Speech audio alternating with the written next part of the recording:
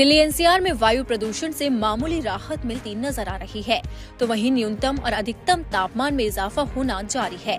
हैरत की बात तो ये है कि पिछले दिनों जहाँ दिल्ली एनसीआर में न्यूनतम तापमान 14 डिग्री सेल्सियस के करीब पहुँच गया था तो वो बढ़कर अब 17 डिग्री सेल्सियस के पार जाने को बेताब नज़र आ रहा है।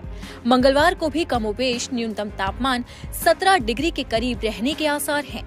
मौसम विभाग के मुताबिक ऐसा दिल्ली एनसीआर में लगातार छाए स्मॉग की वजह से हो रहा है। सोमवार, मंगलवार की रात भी दिल्ली एनसीआर में गर्मी के चलते लोगों को रातों में पंखे चलाने पड़े थे।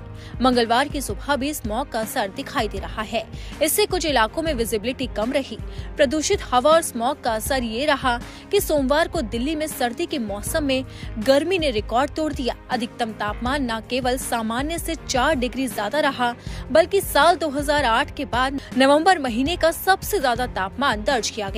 भारतीय मौसम विभाग के मुताबिक सोमवार को अधिकतम तापमान जहाँ सामान्य से चार डिग्री अधिक, यानी कि तैतीस दशमलव शून्य डिग्री सेल्सियस दर्ज किया गया। वहीं न्यूनतम तापमान सामान्य से तीन डिग्री ज़्यादा